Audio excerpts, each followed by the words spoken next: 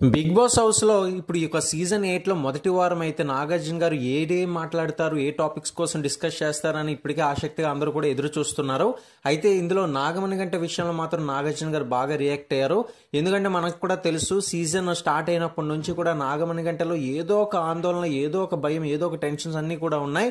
అయితే starting director Anil Rayapudi హౌస్లోకి entry ఇచ్చి ఇచ్చిన ట్విస్ట్కి అయితే నాగమణి గంట ఫ్యూజులు ఎగిరిపోయింది.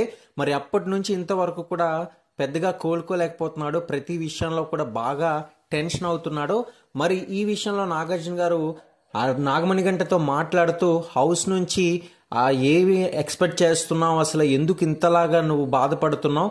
అసలు హౌస్లోకి వచ్చింది నువ్వు దేనికి? ఏదైనా సాధించడానికే తప్ప మరి ఇంకేది కోల్పోవడానికి కాదు కదా అని ఒక రకమైన మోటివేషన్ అయితే ఇచ్చారు.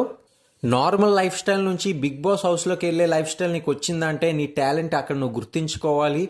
లేదు నీకు బయటే స్వేచ్ఛగా ఉంది హౌస్లో చాలా ఇబ్బంది పడుతున్నావు అందరితో అని అనుకుంటే గనక డోర్స్ అయితే ఓపెన్ చేస్తాం నీ ఇష్టం నువ్వు హౌస్లోనైనా ఉండొచ్చు లేదంటే బయటికైనా వెళ్ళిపోవచ్చు అని చెప్పేసి చాయిస్ అనేది నాగమణి గంటకే ఇచ్చేశారు. మరి నిజంగా ఈ విషయంలో మాత్రం నాగమణి గంట ఫస్ట్ సీజన్లోనే అంటే ఫస్ట్ వీక్లోనే మనకి ఇటువంటి ట్విస్ట్ నాగమణి గంటకి నాగార్జున గారు అయితే ఇచ్చారు బట్ ఆ చాయిస్ని ఏమాత్రం కూడా తీసుకోకుండా ఖచ్చితంగా నేను ముందడుగు వేస్తానని మాట అయితే నాగమణి గంట నాగార్జునకి ఇవ్వడం జరిగింది.